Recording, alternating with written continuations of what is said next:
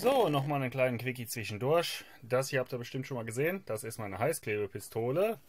Das ist die KKP 7825. Baujahr 99. Ja, äh, die habe ich irgendwann mal als Jugendlicher da geschenkt bekommen. Und ja, ich benutze seitdem. Funktioniert auch einwandfrei, wenn ich von hinten nachdrücke. Habt ihr bestimmt schon mal gesehen, dass ich, wenn ich irgendwas geklebt habe, hinten gedrückt habe. Nun, wieso? Na, ganz einfach. Der hier sagt nichts mehr, der hängt einfach nur fest. Diesmal, äh, heute muss ich jetzt wieder ein bisschen was verschaffen an Heißkleber. Hab aber, bevor ich sie in die Steckdose dran reingestöpselt habe, dran gedacht, dass sie ja kaputt ist. Und dann können wir mal nachgucken, was wir da tun können. Problem, das hier sind so Spezialbits und äh, ja, zum Glück, ich habe meinen schönen roten Spezialkasten momentan äh, in Griffweite. Also gucken wir einfach mal, was wir denn hiermit machen können noch.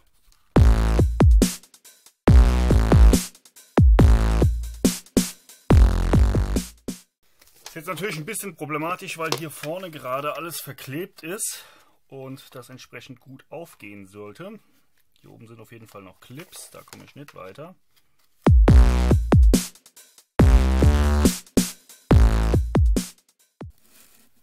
Und ja, da ist definitiv einiges in Kleber im Innenraum gelandet, der da nicht hingehört.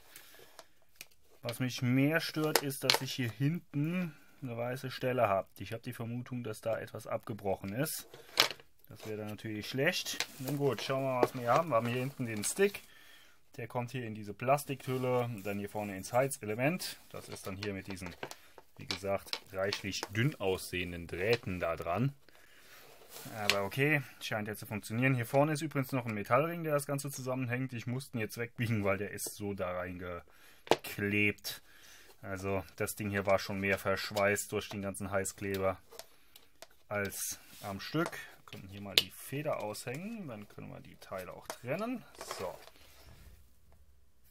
Gut, also hier haben wir auf jeden Fall schon mal die Mechanik. Hier ist noch eine Feder. Hm. Das hier funktioniert im Prinzip noch. Die Sache ist, dass hier wahrscheinlich dieses Teil hier irgendwie dran gehört. Und das kommt ja auch wiederum hin. Dass das einfach nur hier so da drin sitzt. Hm. Ne, so rum auf jeden Fall nicht. Ha. Also der hier muss auf jeden Fall hier sitzen. Hier ist auch so eine Schiene, dass der vor uns zurückgehen kann. Das käme ja hin. Klar, und wenn ich drücke, müsste eigentlich die Kante sich in den, Heiz, äh, in den Heißklebestark drücken, dass der entsprechend mit nach vorne geschoben wird.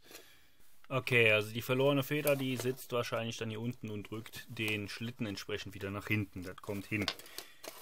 Und ich schätze mal, das, was hier abgebrochen ist, ist ein Teil, was den eigentlich hier oben drin festhält. Moment, der ist plötzlich andersrum. Ja, das könnte natürlich auch helfen. Probieren wir mal so rum, was er dann sagt. Okay, das funktioniert. Aber der fliegt trotzdem noch da nach unten raus und das sollte nicht sein. Da fehlt definitiv irgendeine Halterung. Schade. Schade. So, Quick and Dirty Bastelrunde.